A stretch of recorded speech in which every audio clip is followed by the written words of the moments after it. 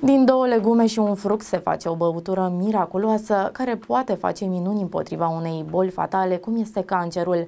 Această băutură ar trebui să fie consumată de către toți românii. Băutura se face din sfeclă, morcov și miere.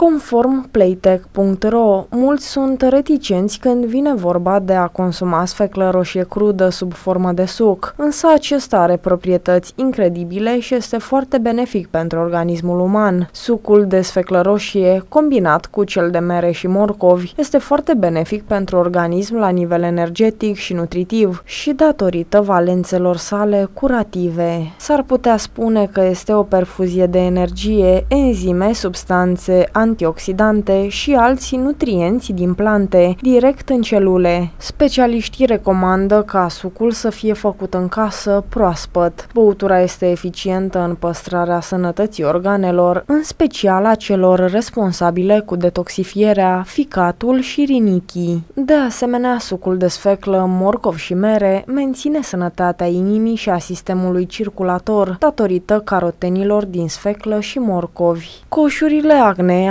petele maronii din jurul ochilor și durerile de cap sunt semnale că ficatul este sub presiunea toxinelor. Băutura care poate fi numită chiar magică menține sănătatea sistemului digestiv, protejează stomacul de ulcer și reduce riscul constipației datorită fibrelor din mere și sfeclă roșie. Nu în ultimul rând, sucul proaspăt de sfeclă, morcov și măr este un aliat pentru bolnavii de cancer.